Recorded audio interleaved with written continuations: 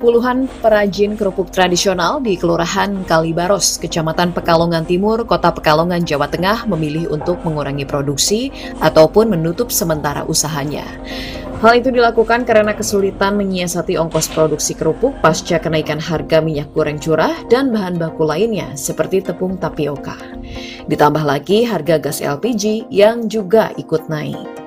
Di kota Pekalongan saat ini harga minyak goreng curah yang semula Rp12.000 hingga Rp14.000 per kilonya naik menjadi Rp21.000 hingga Rp23.000. Demikian juga dengan tepung tapioka yang semula Rp600.000 menjadi Rp900.000 per kintal. Adapun gas LPG sekarang tembus Rp19.000 per 3 kilogram. Alhasil, dari 30 perajin kerupuk yang ada, tinggal 8 perajin yang masih bertahan atau berproduksi. Ditemui pada Kamis 24 Maret, Arizal Umam, salah satu perajin kerupuk generasi kedua dari usaha kerupuk terung milik Haji Rohim, mengaku sudah melakukan berbagai upaya untuk menyiasati kenaikan harga minyak goreng curah dan komponen lainnya seperti mengecilkan ukuran dan menaikkan harga. Namun keduanya tidak bisa dilakukan lagi karena tidak bisa menutup ongkos produksi.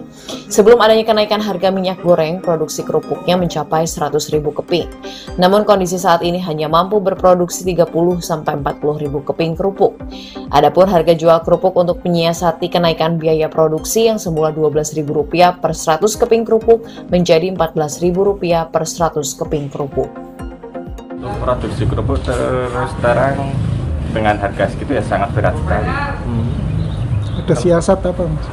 Siasatnya yang kalau dulu itu kita mengecilkan besar besar kecilnya kerupuk, ukurannya kerupuk. Tapi kalau sekarang ya kita ya hanya bertahan saja. Kalau untuk sekali produksi berarti juga turun ya mas? Sangat turun mas. Dari berapa ke berapa sekarang?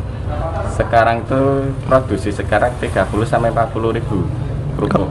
Kalau, kalau yang dulu kan 100 ribu kerupuk bahkan lebih. Sementara itu, Sekretaris Kelurahan Kalibaros, Luciana Widyastuti menyampaikan, sentra UKM kerupuk di daerahnya mampu menyerap tenaga kerja lebih dari 200 orang yang tersebar di 30 perajin yang ada.